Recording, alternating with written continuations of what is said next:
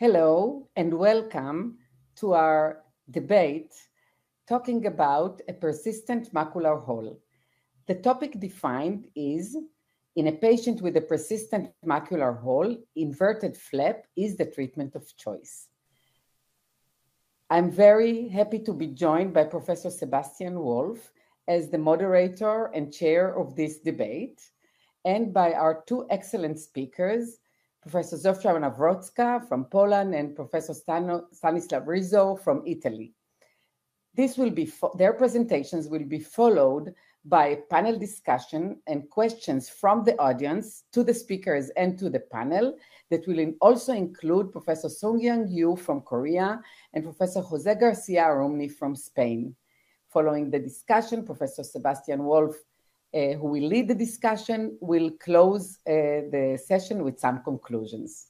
So without further ado, it is a pleasure for me to invite Professor Zofia Nawrocka from Poland to speak in favor of the inverted flap technique. Professor Nawrocka, I think, is one of the developers of this technique, and it is a great honor to have you with us tonight. Zofia, please. Ladies and gentlemen, first of all, I would like to thank the organizing committee, Professor Loewenstein, Professor Wolf, to organizing this, let's hope, very interesting debate. I would, of course, love to meet you, all of you in person, but uh, now it's possibly online only. Uh, so in my presentation, I would like to focus on the point that how we start is even more important than how we finish. And I will explain it in a couple of next slides.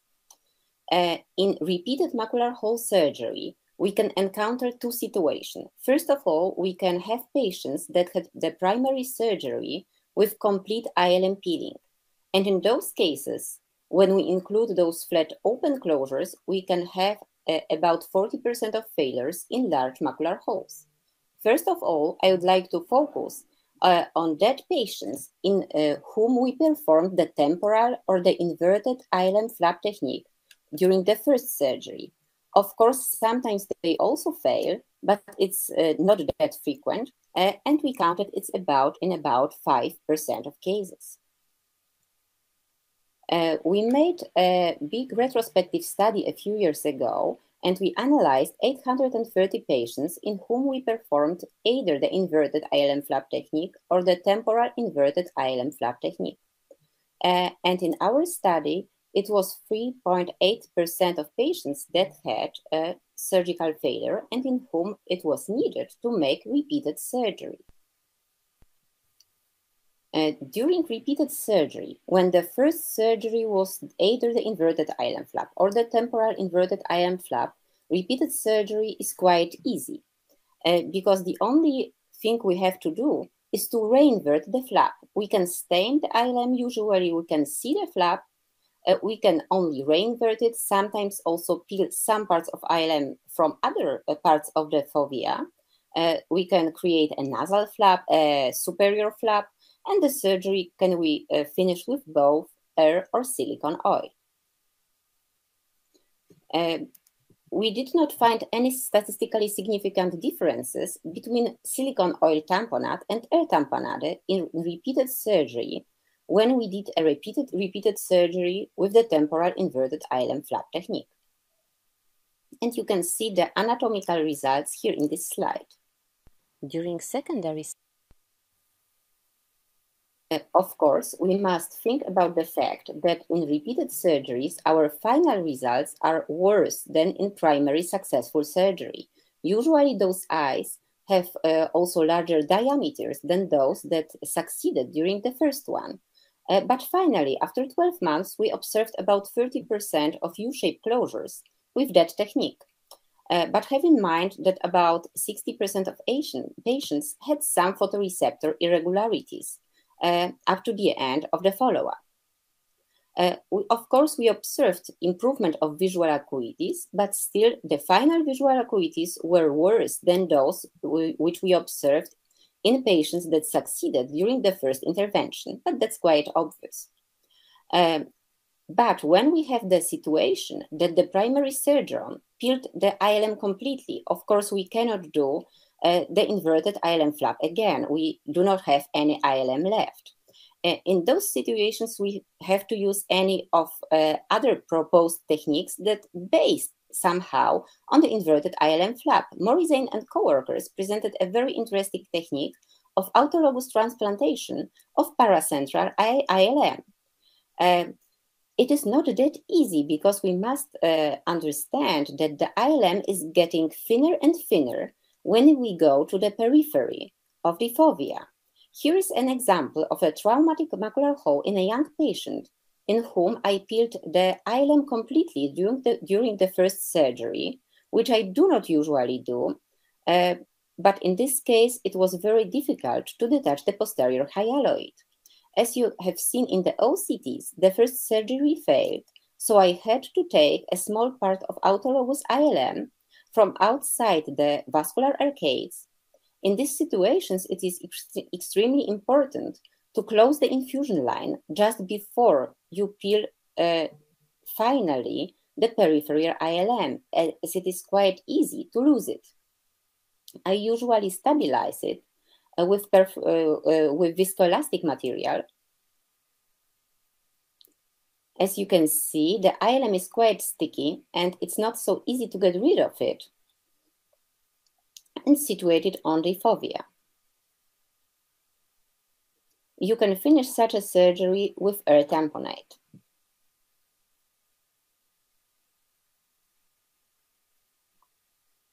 Uh, of course, there are plenty of other techniques uh, that were published previously, and it is extremely difficult to compare between them.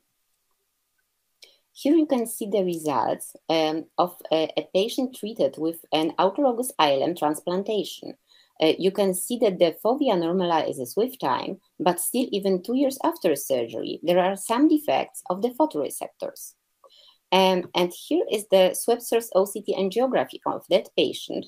Uh, I would like to show you the comparison between a patient with an autologous flap and a patient after a repeated surgery with the temporal inverted ILM flap. Uh, you can see on the choriocapillaris layer a kind of shadow um, resembling the shape of the autologous ILM flap, which is not seen uh, after surgery with repeated temporal inverted ILM flap. Uh, it disappears after some time, so two years after surgery, even though there are some photoreceptor defects, the choriocapillaris of those patients after autologous transplantation of ILM look quite normal. Uh, in cases uh, we do not have um, the uh, autologous ILM, it is also possible to use uh, the uh, lens capsule. Uh, but in my opinion, the results of those techniques are not that excellent as we can see if you use um, the ILM. And of course, there is the um, technique proposed by Professor Rizzo, the amniotic membrane, which is a great resolution for those cases in uh, whom we do not have any ILM left. Uh, but as we see the restoration of the fovea, it lasts quite a long period of time uh, and not always leads to full re recovery of the fovea. Uh, I would like now to share with you a case. Uh, it was a patient that came to me just before the COVID pandemic uh, began and the patient came with two failed macular hole surgeries. Uh, before COVID, I performed the first surgery with an amniotic membrane, so you can see the results uh, almost two years after surgery. And in the second eye, I did the surgery like two weeks ago, so you can see the surgery after two weeks. Uh, in the left eye, the primary surgeon did not peel the ILM completely, uh, so I could do the temporal inverted ILM flap technique. In the right eye, the primary surgeon uh, peeled all the ILM off, so the amniotic membrane had to be, um, uh, transplantation had to be performed. Uh, so now I'd like to show you, to compare the uh, images of repeated inverted ILM flap, autologous ILM transplantation, and amniotic membrane in, so, and in my opinion, it is better to start with the inverted ILM flap because in that situation, if we even encounter repeated surgery, you do not have to use all those all excellent techniques And finally, those patients might have better functional and anatomical resu results. Thank you for your attention. So uh, thank you very much, Zofia. That was excellent. Uh, your movies are amazing, and uh, I, I, think really you should be chapeaued for developing this technique. Uh, I know together with Professor Jerzy Nawrocki, and uh, really, I'm. Uh, it was very, very impressive. And as I said before, I think it is the greatest honor for both for you and for us as a panel to have the debater speaking in favor of different methods uh, the um, number one surgeon, I think, in uh, Europe, maybe in the world, Professor Stano Rizzo, uh, who will speak in favor of the different methods, some of which were developed by Professor Rizzo uh, himself and others. Professor Rizzo, please, please take the control of the slides. So the first is Jose Garcia Arumí, my, my good friend. Right. Thank you for this. absolutely, absolutely. Okay. Uh, uh, before I starting to with my talk, I'm I'm not opposite Professor Nawrocki. I completely agree with that because in case of recurrent macrohole, if you have a failed macrohole, if you have ILM, of course, the first choice is to use the ILM of the patient, but no ILM far from from from the from the hole, but ILM around the hole. This is the better technique we have, the best technique we have nowadays with the treatment of macrohole. And Zofia showed very well this, this theory. So, uh, with the term of refractory macrohole, we are, this is a generic definition that includes a reopened macrohole. This means that uh, a found macrohole occurred after surgical induced closure. This happens uh, sometimes also some after, after some months of the, the from, from the first surgery. And, uh, and the second term is the unclosed persistent macrohole. It is the failure of your surgery. This is the, the hole didn't close at the end of the surgery. And the percentage of the failure of the, of the, of the uh, surgery for macrohole is about from, is, uh, come, is coming from 4% to 11%. And many are the causes of these surgical failures. First of all, of course, is the, the size of the hole and the duration of the hole. The association with the myopia, and myopia are many times, sometimes uh, we have failure in our surgery. The partial removal of peritonal traction, the LM, uh, and of course, insufficient gas, gas tamponade and poor, poor compliance by the patient. So we know, and Zofia showed very well this this this uh, this, this technique that inverted macrohole is the technical choice for large and extra large macrohole. But in this hole, we have a, a recurrence about from 4 to 10 percent. Uh, we have many techniques for inverted macrohole. Uh, Professor Nawrocki studied very well these techniques. The classic inverted flap technique the temporal inverted flap technique, and the, the autologous transplantation of free flap technique. This means the creation of free ILM flap starting from the outer border of the complete ILM peeling and placed over the hole for, to cover it. So we demonstrate with this paper published some years ago with a large series, more than 600 eyes, with a affected of macula hole, that uh, the ILM peeling, the, uh, the inverted flap technique is very useful, first of all, in, macro, in large macro, larger than 400 microns, and patient with myopia eye. So, but in this paper with uh, more than 4,000, 40,000 40, eyes operated with pars plana vitrectomy for macro, and uh, about 6% of the eyes return to the operating room for, for failure of macular surgeries. Also in, in USS, US, they have this big problem of failure of the surgery of, for macula hole. So, but what to do if you don't have ILM peeling in the perioral area? What to do if the surgeon has already peeled completely the ILM? This the fantasy of the surgeon is, is very is fantastic. We start with laser, passing through the agent agents, for example, the autologous platelet concentrate. With, with uh, we use it for some time, gas tamponade. We used it some years ago. Even Siliconoia was one of the uh, inventor of this technique.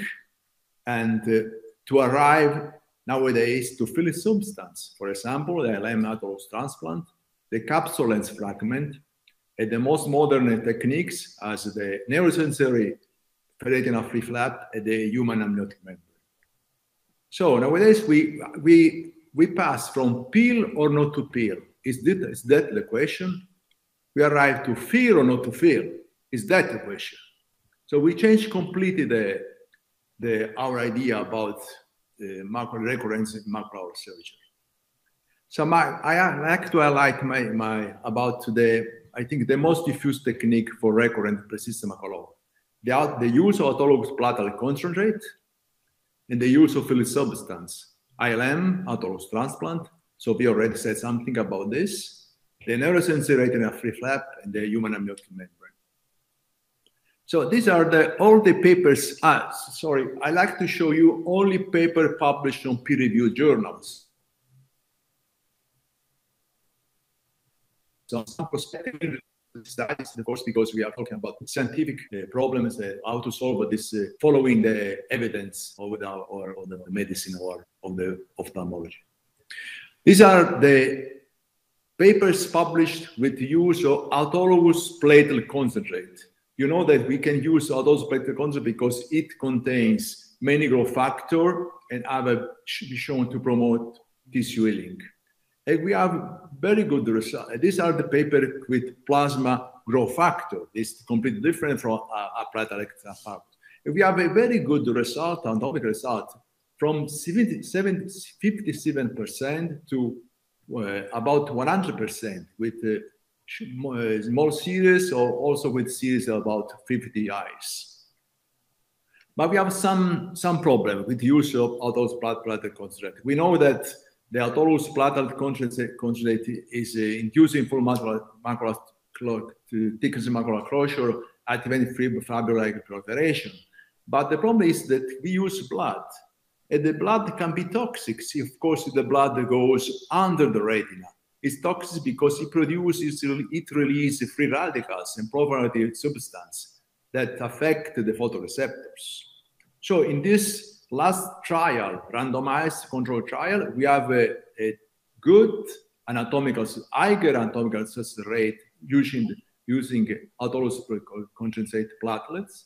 But the problem is the use don't seem to improve the anatomical, the functional outcome of the surgery.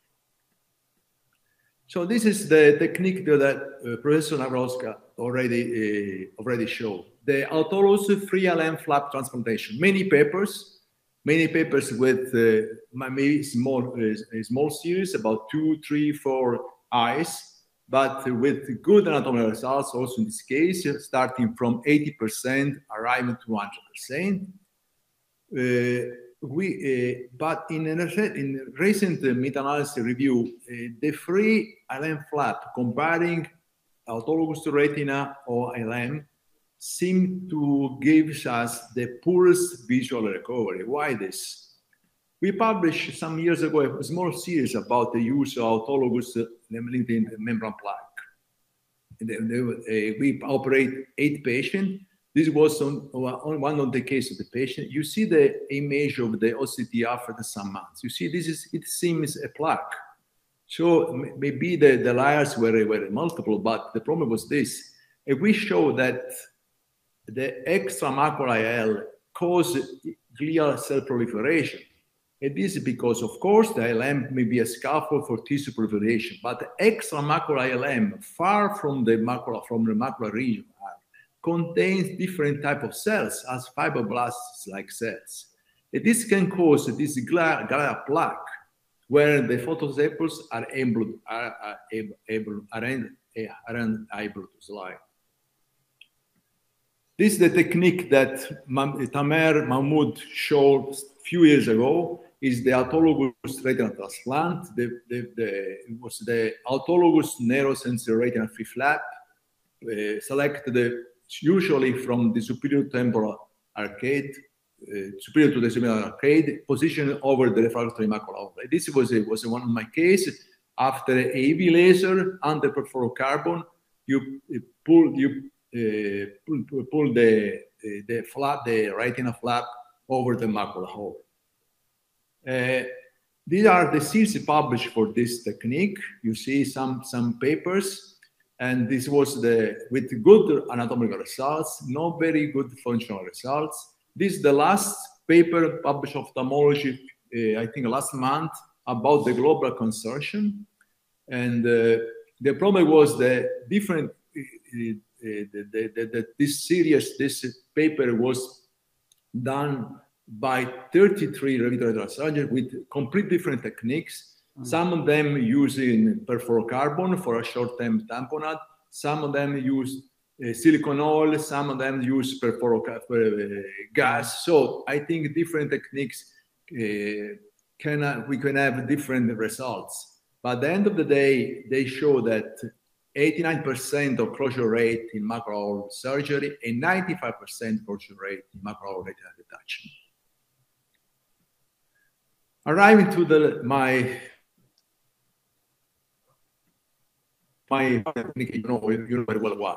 This was the uh, also about this technique. There are some some paper are are, uh, are on on uh, on PubMed. This was the, the technique to to remove the with the small trephine a, a disc of uh, the amniotic membrane. You can of course regulate the measure of your disc depending on the, the size of, of the hole.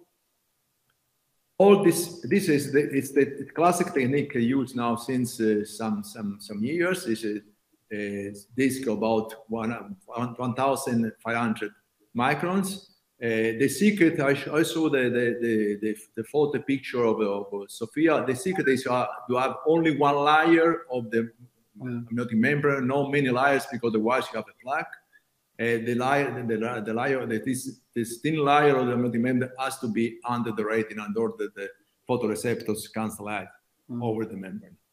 Uh, different with um, with uh, with uh, retinal transplant, you need only one surgery. You tamponade this uh, this eye only with air with very short position, only a few hours after the, after the after the, the surgery. This is the uh, uh, amniotic membrane with, uh, of course, uh, in this uh, um, review comparing the ILM flap, the free ILM flap, the autologous retina, and the amniotic membrane the subgroup amniotic membrane show a functional recovery at least double compared with other surgical technique. So this I, I shall like to show you some some picture. You see that this is the very large macula with some atrophy in uh, the retinal pigment epithelium. You see there's a very thin layer. This is a secret to have only one layer of retinal membrane. After the follow 18 months of for follow up, you see the some reconstitution of the of the external membrane of the membrane.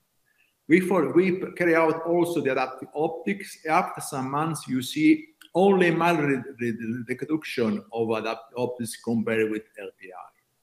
This is the comparison of, uh, of the uh, adaptive optics between autologous LM transplant a human amniotic membrane. You see the difference. You see uh, many receptors with uh, greater average cone density in amniotic membrane patients and as in uh, OCT angiography, you see enlargement of the foveolar zone of, uh, of the FAZ in LM patient and normal appearance and size in amniotic patient. So in conclusion, we know that uh, despite the improving surgical technique, we have still between 5 and 30 percent of patients with, with, with, uh, uh who have unsuccessful surgery Autologous platelet, we have a very good anatomical success, but no significant difference in functional outcome. Autologous retinal transplant technique, we need at, at two surgeries, and many times the first surgery is very difficult. And I'm not a member, of course, eh, I am a big bias. It's my favorite technique. Thank you very much for your attention. Yes, thank, thank you, Stan, for this excellent talk. I think uh, now we we have the panel discussion um, for the talks. uh, we have some questions from the audience. Uh, but maybe first, I would like to ask Zofia the question. So, if you start macular hole surgery, uh, if you use uh, your inverted technique, um, you use this always, or you remove the ILM usually, or you don't uh, touch the ILM in small holes. So, what is your technique in primary holes? So in primary macular holes, my usual technique is nowadays the temporal inverted ILM flap technique. So I peel the ILM from the temporal side and I do it in all holes. Very rarely in very, very young people when it is very difficult to detach the posterior hyaloid, as I showed in the video, but it happens once eh, eh, a couple of years, I have to peel the whole ILM. Uh, but usually I do the temporal inverted ILM flap technique in all cases. I was also surprised by what, what you said that uh, the, usually you don't do it because I think that most of us, I don't know, Sebastian, you are such an experienced surgeon, and uh, Pepe, and I'm used to always peel the ILM in in the primary surgeries. So maybe maybe it's passe. I don't know. Exactly, Jose. What what what are you doing? Uh, I, I uh, do in, cases uh, with small macular holes under uh, 400 microns. I peel uh, the regular surgery in, in macular holes. I peel the ILM around the hole. Uh, I, I, don't do a very big peeling of, of the of the hole, and in most of the cases, 95, 98 percent of the cases, the, the hole closes. But in more than 500 microns, I prefer to do the inverted flap and, and mainly in, in, myopic patients. In Spain, we have a lot of myopic patients. And uh, really, in, in, myopic patients, is a big difference, a huge difference. Stano showed in, in his publication with 600 uh, uh, patients with macular hole that really over uh, 26 millimeters of axial length, the rate of closure is uh, much higher with uh, inverted flap than with the regular technique. So, Seung, how, how you are doing it in, in Korea? Probably you have more myopic holes and. Uh... Yes. So if I have a myopic patient, I do some. I do the inverted IRM peel, uh, IRM flap technique. But usually for the regular uh, macular hole, uh, I do peel the whole ILM around the hole. Is, is there any um, dependency on the size. So in big holes, you are not peeling all the ILM, or in small holes, you are, or is it Pepe is, is adjusting his technique on the size? Are you doing this? Yes, if I have really big macular hole, like a five, uh, more than 500 micrometer, so I do a flap, but usually I uh, remove whole ILM. Okay. And Stan, Stan, you are doing the same? Uh, always spilling the LN. And LN flap in larger hole in myopic eye. Okay, so only myopic eye. So Anat, I, I think we are the old people yeah, I think, all the LM. you know what? I already learned a lot from you guys because I, I I'm just usually peeling the ILM, but uh, maybe it's it's a i mean not peeling the whole ilm leaves a space for then using it i, I understand that you, then you can do it uh, inverted flap in recurrent holes right? Yeah. So so we have a question from from the audience um, for sophia. I think do you think that the ilm orientation makes a difference? So is it important uh, important to have the reverse flap placing versus the flap placed in a normal uh, way on the hole? So usually we position the uh, ILM in, in an inverted fashion. It's um, only possible to position it um, not upside down when we uh, make a pedicle surgery or the autologous flap.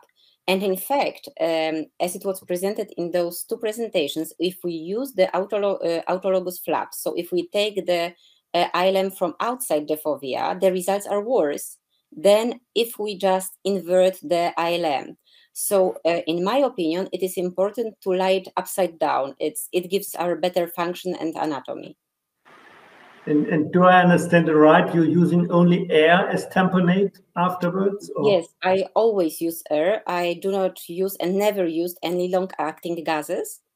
Um, and I think that we have studies that confirm that uh, the closure process it takes only a few hours after surgery. So the most important is the first day afterwards, and in only few cases it happens to close afterwards.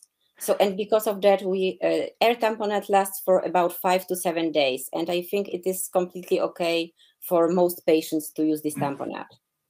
Would you agree with this, Pepe? Yeah, I think it's completely true. Really, um, if you perform an OCT the day after the surgery, you can see how is the hole in in 90% of the cases. And it was a very interesting uh, publication of uh, Claus Eckardt that uh, they compare the closure rate uh, during the first days. And in the first day, if the hole is closed in 70% of the cases, this hole will maintain closed. And the, the, the eyes that don't have a, a, a close uh, macular hole in the first day is quite difficult to close, but in, 20% of the cases may close in the in the second on in the in the third day. But uh, I don't know if it's better to perform the temporal flap or the superior flap. What do you think about this, uh, Sofia? Mm, I think it's easier to close the hole if you do the temporal flap because usually you uh, put the flute needle near to the optic nerve. Yeah. So if you make a temporal flap, the natural flow of the water covers the hole. Uh, and of course, in cases we do repeated surgery, sometimes we have to use the superior flap or the nasal flap. But I have the feeling that it is uh, slightly more difficult to have the mm, uh, uh, um, confidence that it is completely closed in the end of surgery. So my usual choice is the temporal side. It's also more safe to remove a temporal side. If you touch the nasal side of the course, you can cause some problem of the of the fibers. I, I agree, so, but, but, a lot of surgeons perform the superior flap instead of a temporal flap. I agree that it's better the temporal flap, but uh, they they they argue that uh, really the the uh, position, the, the, the normal position of the head, uh, makes that the flap uh, goes uh, down and that's why uh, they prefer to perform the superior flap. And uh, but you have uh, mentioned, Sophia, that in some cases you use um, silicone oil in, the autologous flap transplantation. What, what do you say? I don't like too much uh, silicone oil for for macular hole closure. Uh, no, in fact, in autologous ILM flap, I usually use air but uh, it is true that when we performed the first surgeries of repeated uh, failed uh, primary inverted ILM flaps, in some part we used air, in some part we used silicone oil, as in fact at the beginning we did not mm-hmm. know which would be better for the patients. Um, you must understand that those were the first surgeries, first failed surgeries of the inverted ILM flap. Now, uh, after the study, we know that um, it does not matter. We can use air in the secondary surgeries, but at the beginning, there were also plenty of papers uh, showing that silicone oil tamponade during the second surgery is superior. Um, so uh, at, at the beginning, we used both. Uh, in uh, nowadays, I very rarely perform the surgeries with the lens capsule. I think it's the worst uh, idea in repeated surgery. But in those, I always use uh, silicone oil as the lens capsule is very difficult to hold with air. It's quite heavy. Uh, but now, uh, after the introduction of amniotic membrane, I abandoned those lens capsule surgeries and uh, never do them now. Okay, uh, I, I, have a question from the audience. Maybe Stan and uh, Sophia, you can comment on it. Um, is it preferred to bury the free flaps under the hole margin, or is it better uh, to try to keep it above it. So Stan, you have shown that amniotic membrane should be underneath the retina. And Sophia, you have shown that the inverted flap is uh, um, above the retina. So um, could you comment on this? Maybe first, Stan? I, I think the problem is this. Of course, if you want, if you want to use a very short-term tampon as a, as a hair, for example, no, you have to put something under the retina. Otherwise, it's possible to, to hold the over the retina this this uh, because we, many, many, times it happens that if you open only the infusion during the surgery, the, the, for example, the the ILM or the amniotic member floats in the vitreous chamber, and you lose you lose that. So this, this is a problem. Of course, under the retina is, is more safe because it stays uh, at that place without any other maneuver. The problem, of course, so, under the retina means you have to touch the photoreceptors at, at least on the edge of the hole. This maybe can be made more dangerous, uh, at least, but uh, I don't know. Over the retina, we start with the retina, but in some cases, with the, we, we lost the membrane, the amniotic, at least the membrane after in few cases, but we lost the, the uh, of course, we we were aware of this problem after the surgery, and then maybe the day after. It wasn't very it wasn't very pleasant for the patient to be. You have to receive the third or fourth operation because you we lost the amniotic or sometimes some some other. Can can can you comment on the tamponade? Are you using air or gas or um, only air? Only air. So this seems to be consensus. Few under the retina, few hours from position. Only air. I think that uh, for using the amniotic membrane under the retina, it's very important to have only one layer of, of uh, membrane. Yeah. I think the mm-hmm. result is much better. This kind of scar that maintains some months uh, in the middle of the macular hole is because they have used a multi-layered uh, amniotic membrane. Uh, with only one layer, it's much easier to, to introduce under the retina. Do you use uh, special instruments for introducing the this uh, layer of amniotic membrane under the retina to be as safe as possible? Yes, because many times after months, of course, you have a very a very thick edge of the a rigid fibrotic edge of the hole. It's impossible to penetrate under the retina if you don't elevate this edge.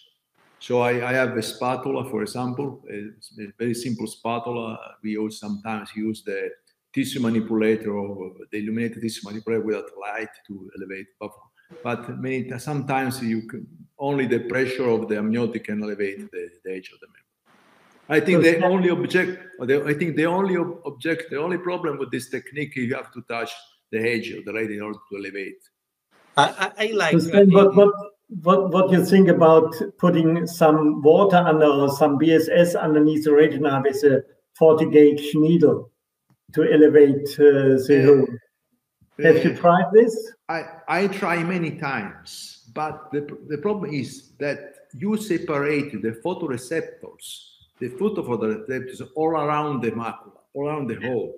I'm very scared. For example, I'm starting, the, of course, it's completely different because completely different uh, argument, but I start to inject, for example, Luxturna under the macula for uh, RPE 65 genetic problem.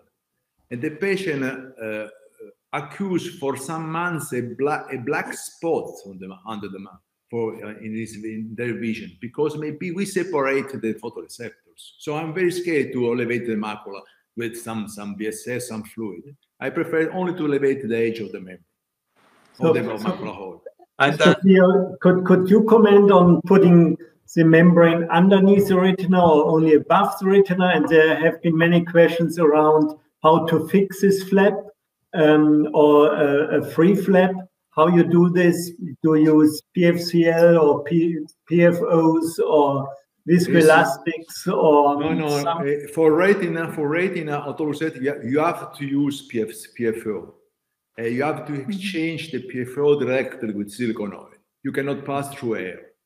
Well some surgeons uh, uh, maintain the PFO for two weeks because they they said that they say that the PFO can can ensure you a, a, a good a better exchange of oxygen because the PFO is a good carrier for oxygen. So, for example, Steve Charles maintains the PFO for two weeks in order that the PFO press the retina over the of the hole. So you have to have some tamponade. You cannot pass through BSS because otherwise you lose the the, the, the retina, yes. the flap of the mm-hmm. retina.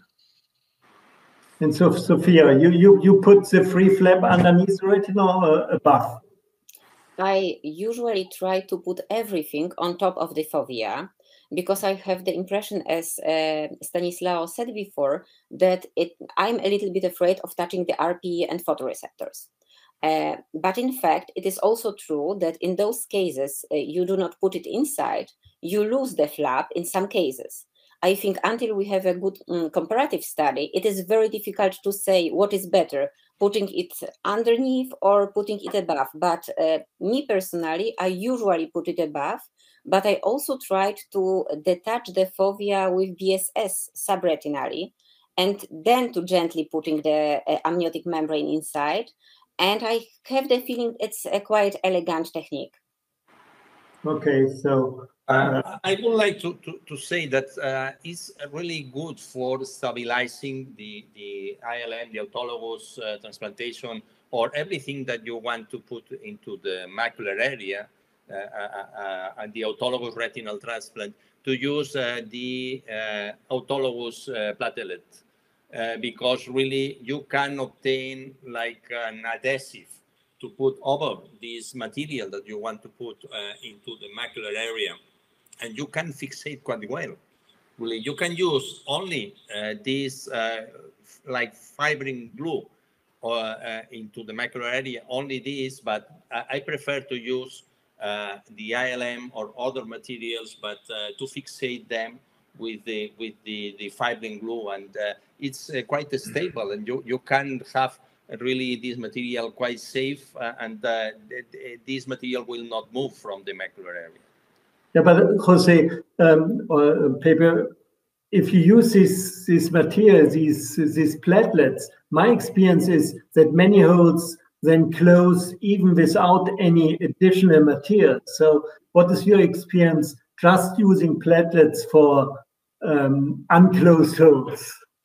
Well, uh, I, I, did use a lot of uh, platelets concentrate uh, some years ago in the era of the transforming growth factor beta. It was the, the yeah many years ago. Many years yeah, ago. yeah. In my fellowship, we used it. Yeah, but uh, but uh, nowadays I prefer to place something into the macular area to to close really. Uh, yeah, it's, because it's, it's, the rate of closure only with platelet concentrate in my hands is quite low. Okay. So, Young, how, what, what are you doing? Um, you, you use oh. air as well and, uh, and put the flap above the retina or below the retina or what's, what's your technique there? So I put uh, the so if I uh, if uh, the, if I use the free ILM flap, I I put the ILM over the hole and I try to use a PFCL to uh, for the stabilization. But however, it still is very difficult to keep that in the place. So I would like to ask uh, the tip to stay the flap on the on the on the top of the hole. I would like to ask. I I heard that uh, uh, said uh, you close the infusion for a while when you when you put the uh, flap under the hole. So I think that's the good uh, tip. So I would like to know the tip. So I use and I use a gas still because I I think the the time of duration of filling full fill a gas is really important because some patient cannot position very well. So I still use the gas tamponade. Yeah, we, we, I, I use still gas tamponade as well, and I, I, have the impression it's working well. And I, I use always SF6, but I have colleagues they use C3F8 and tell me this is much better. And um, then I hear air is sufficient, so I'm a little bit uh, unsure now.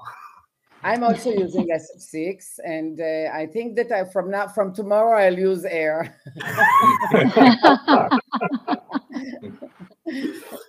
I really so, think it's, it's but it's but there are many questions around the uh, amniotic membrane. And mm-hmm. Stan, can you explain us what side of the membrane you put uh, down to the RP and what side is going up? So is it the uh, epithelial side or the non-epithelial side? Uh, how you manage it, how you know which side is up.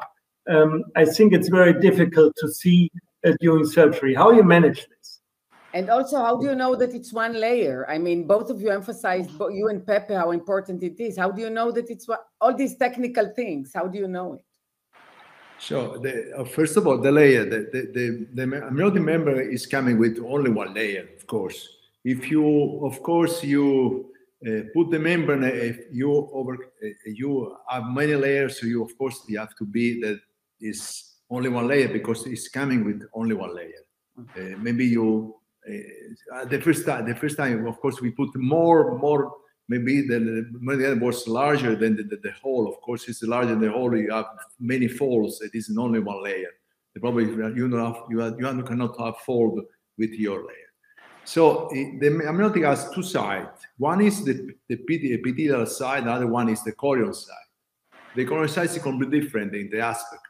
You have to magnify the microscope, the maximum magnification, you see the chorion side is very soft. It's some, it has some, uh, some no,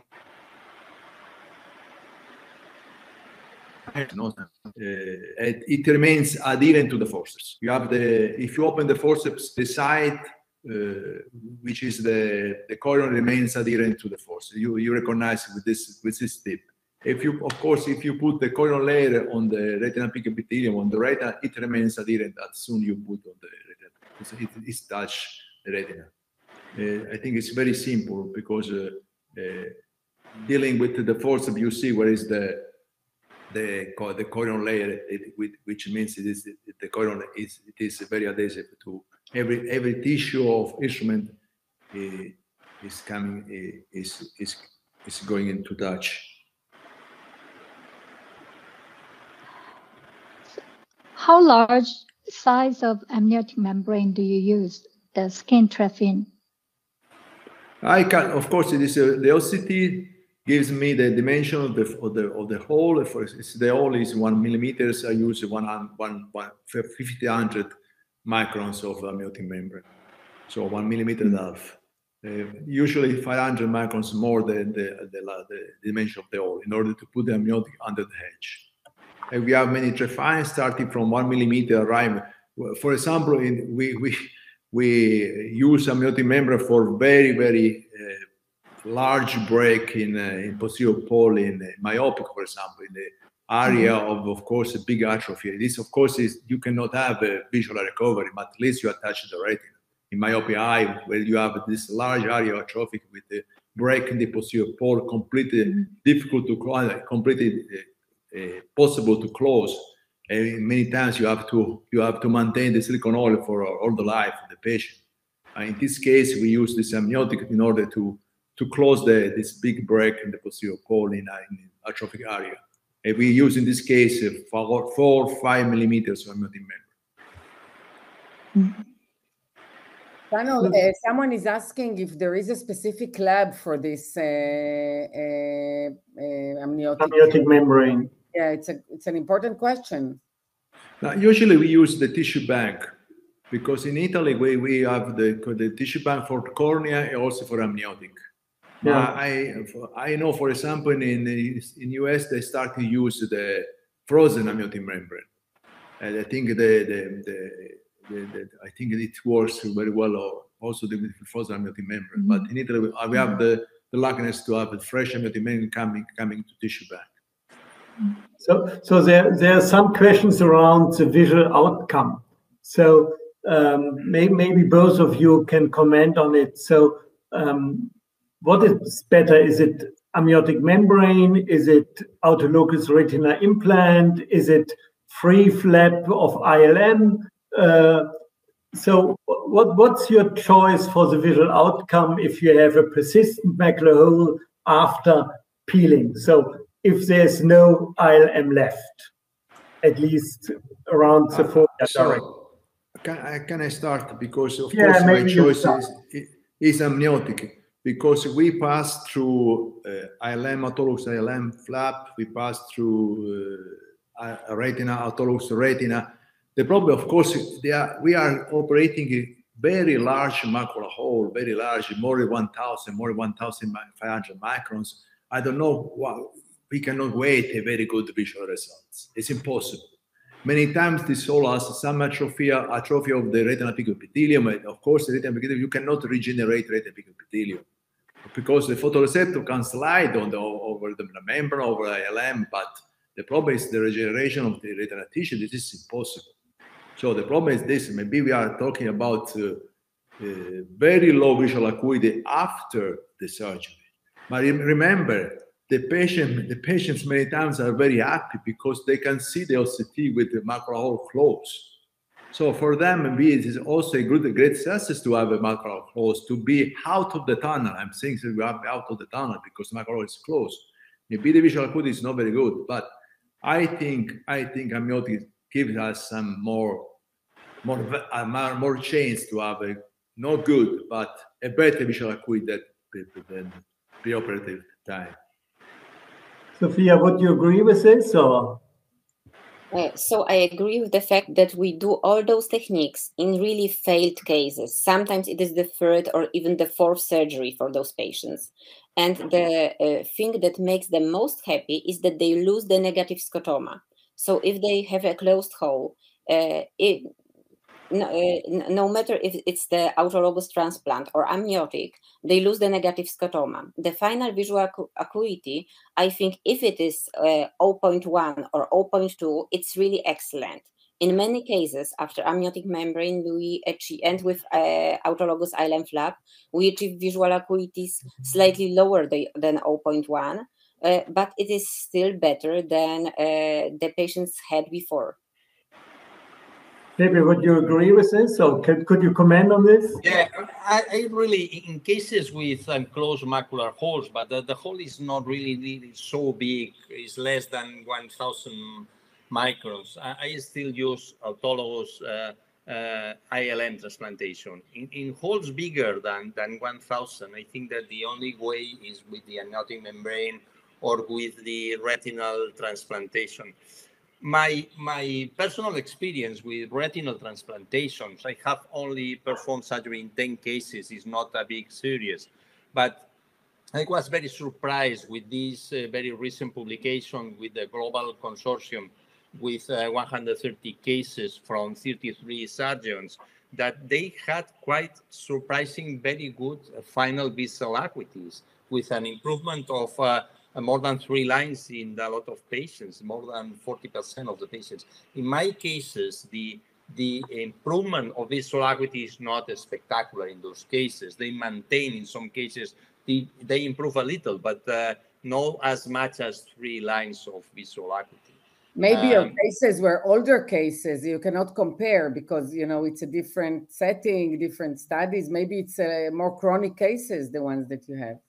No, but uh, but uh, the, the they operated cases between the 900 and the 1,500 uh, microns. But uh, this this uh, study is quite heterogeneous in the sense that uh, there are a lot of surgeons. Um, the tamponade is completely different from one to the other.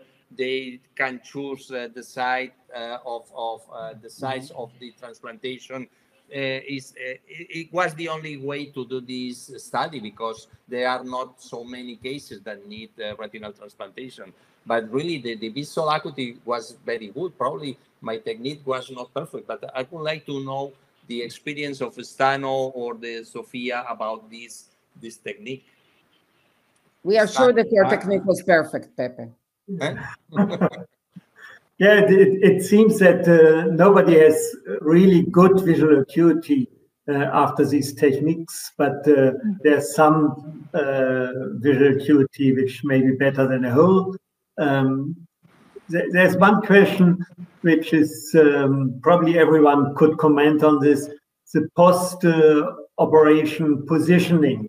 How long, how is it important? Is it depending on the tamponade? Uh, how long you do it, uh, Sophia, how, how you do it with air? How, how long do the patient position and how do they position? Okay, I'm very strict for the first post-operative day. and I recommend strict prone positioning and then advise the patient to maintain most of the time um, with a head down positioning uh, three to five days after surgery. Oh, thank God. I thought here also I'm doing something very old fashioned. so so the, the first day you are very strict and the days afterwards, what is uh, what is most of the time? Is it half hour of an hour or is it uh, 50 minutes in an hour? What What is it? Uh, I, I, tell the patient that they can eat, they can go to the toilet, and the rest of the time they uh, stay with a head down. And during the first day, I recommend them to uh, keep the head down all the time, like 100% oh, So basically, five days position. Yeah. Stan. Uh, if you use air, of course, the first day has to be. I am I'm very severe. If you use only air, if I use gas, I use usually use C2F6 because there is a good paper published in UK that they show that with the S, S6F6 they don't have very good results. So uh, I I permit the patient. Yes, it's true. It's, it's, it's published. Yeah, but, but, but, this is published and then it's published. The air is as good uh, as SF6, so very difficult to understand of course, if you use uh, gas, I uh, I permit the patient to stay on the side because I think it's very difficult to maintain for five days the uh, prone position. Okay.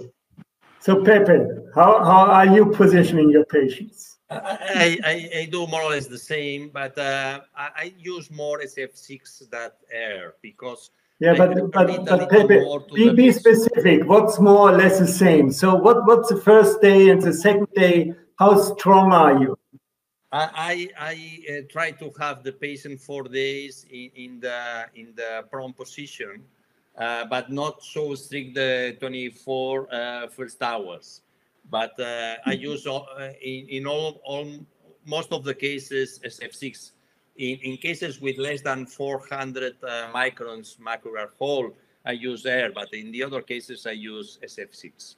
Okay. And so, Young, how, how strong are you with positioning? Yeah, I use SF6 gas and 24 hours strict. And then I I can I I I usually said to patient, don't lay down. So head up position. Don't head up position, but you can sit you can eat and and you can uh, lay side but usually i said to them a head down positioning for three days and then you can rest uh, and then the 12 hours uh, head down position for two more days so five days. Okay. Anat how are you doing it? I'm doing five days. I'm doing sf6 I mean, until today, as of tomorrow, it's going to be air, but